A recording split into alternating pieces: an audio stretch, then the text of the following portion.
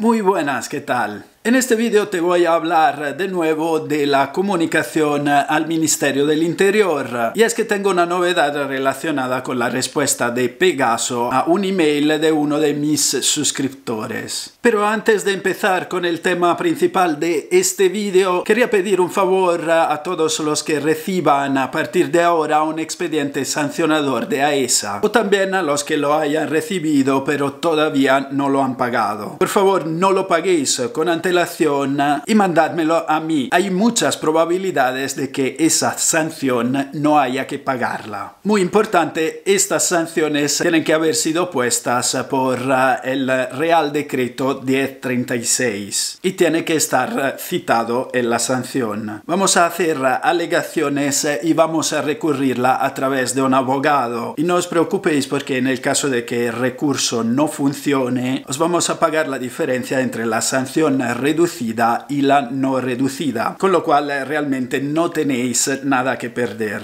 Pero esto es muy importante para toda la comunidad dronera. Agarraos bien porque vienen curvas. No hace falta ni siquiera escanear todas las páginas, eh, nos vale con el código de verificación que se encuentra al final de cada una de las páginas. Con ese número ya podemos acceder al documento original.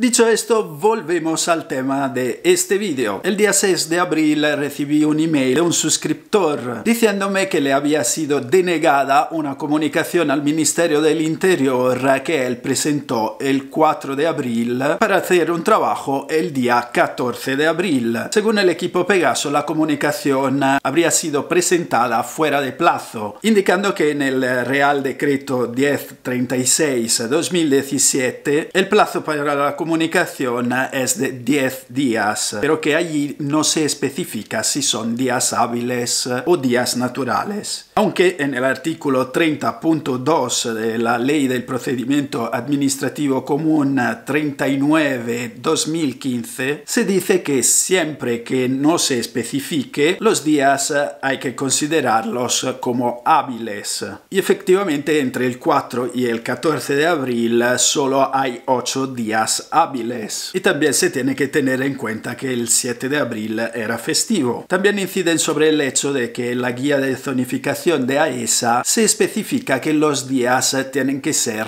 hábiles, con lo cual no consideran que la comunicación se haya hecho en los términos legales, por lo menos dentro del plazo. Esta persona afectada me preguntó qué podía hacer en este caso. Lo que hice yo es mandarle directamente una respuesta para que hiciera una alegación a lo que le dijo Pegaso. Y la respuesta fue esta. Intenta alegar esto a ver qué te responden. Según el artículo 69.3 de la Ley 39-2015 del Procedimiento Administrativo Común de las Administraciones Públicas, cuidado que es la misma que citan ellos eh, para los plazos, las comunicaciones permitirán el inicio de una actividad desde el día de su presentación. A pesar de lo que diga el Real Decreto 1036-2017, el efecto de la comunicación al Ministerio del Interior ha de entenderse válido desde el mismo día de la presentación, puesto que así está escrito en una ley ordinaria de grado superior al Real Decreto y que la comunicación en cuestión ha sido recibida por la administración correspondiente, como demuestra vuestra respuesta. Considero que exigir una comunicación con 10 días hábiles de antelación va en contra de la misma ley del procedimiento administrativo común y del principio de seguridad jurídica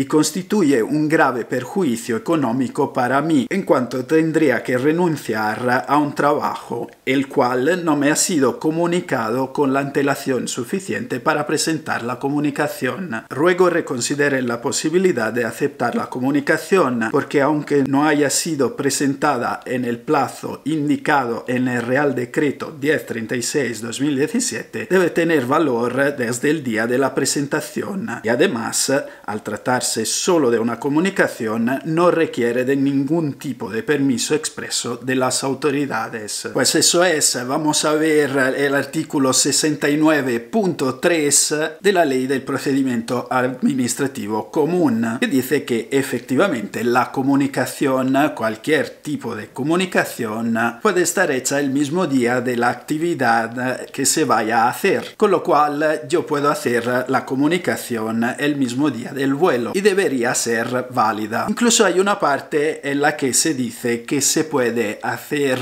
la comunicación posteriormente a la actividad, pero esto no es el caso porque los casos deberían estar explicitados. La respuesta ha sido un sí pero no. Y atención porque no ha sido por email, ha sido por teléfono. El equipo Pegaso ha llamado directamente a mi suscriptor y le ha dicho que por escrito le van a poner que él no ha presentado la comunicación dentro del plazo, pero que no le van a impedir volar ni le van a hacer ningún tipo de persecución. O sea que en teoría puede volar tranquilamente. Esto es increíble. Prácticamente no se están dando la razón, saben perfectamente que la comunicación tal como está en el Real Decreto 1036 está mal hecha, yo diría incluso ilegal, pero no se mojan, no te lo dan por escrito, solo te llaman por teléfono. Esto desde el punto de vista de la seguridad jurídica es un disparate. No hay absolutamente ninguna seguridad jurídica. ¿Qué pasa si en lugar de Pegaso va allí cualquier patrulla de la policía? Policía Nacional y te propone para sanción. No le puedes decir que, bueno, Pegaso me ha dicho por teléfono que puedo volar. Solo te queda, en caso de recibir el expediente sancionador, de hacer la misma alegación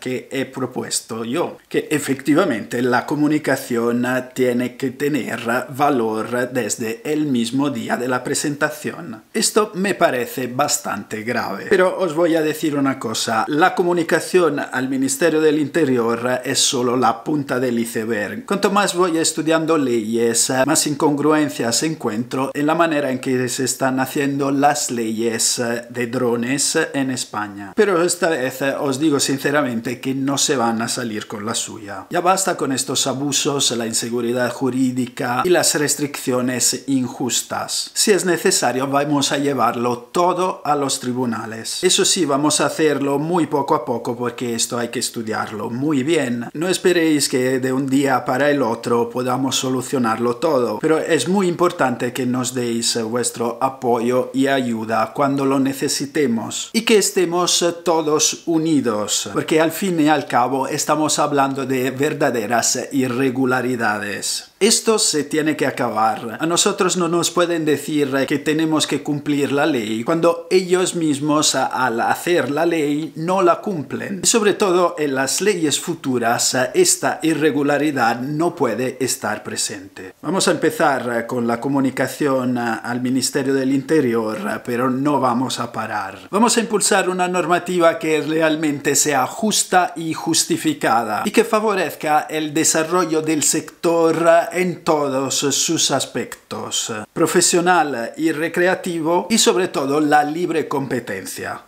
Bueno, nada más. Si este video te ha gustado, déjame un me gusta. Si además te ha parecido útil, suscríbete al canal para no perderte los siguientes. Si tienes algo que decirme o que preguntarme, déjame un comentario. Arrivederci.